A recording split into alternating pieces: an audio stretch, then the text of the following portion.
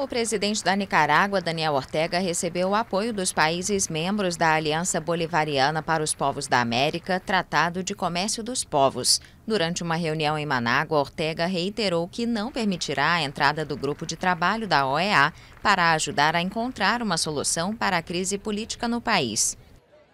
Se não se lhe deu a bem-vinda às tropas yankees, não dou boas-vindas às tropas Yankees nem a esses grupos de intervenção que se formaram na OEA. Eles não são bem-vindos.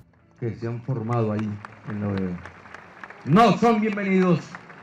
Ortega, no poder há 11 anos, foi abalado em abril por uma onda de protestos por causa de uma reforma da Previdência fracassada. O movimento se transformou em pedido de saída do presidente e a repressão contra as manifestações deixou 320 mortos.